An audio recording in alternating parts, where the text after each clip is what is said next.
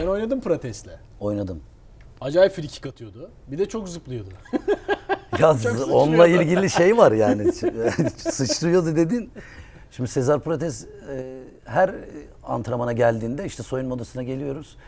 Sezar, Sezar Prates'te tabii bir de böyle vücudunu gösterme gibi bir böyle bir e, meyili var. Yani Cristiano Ronaldo gibi. ama biliyorsun zaten hani e, e, şeylerin yani beyazlar ve siyahlar demeyelim ona şey olmasın ama yani işte Ama şey genetik olarak tabii genetik ki olarak hani evet, biliyorsun daha, bir at- atlet yani. yapıları tabii, kesinlikle öyle.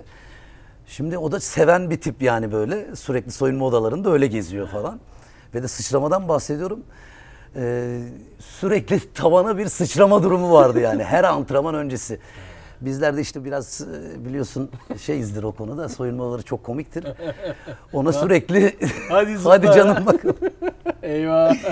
Ama yani böyle bir sıçrama yeteneği de hakikaten inanılmaz. Yani buradan tavana kadar bir anda o patlayıcı kuvveti çok yüksek. Sürekli onu tavana her antrenman öncesi 3-5 defa sıçratıyorduk.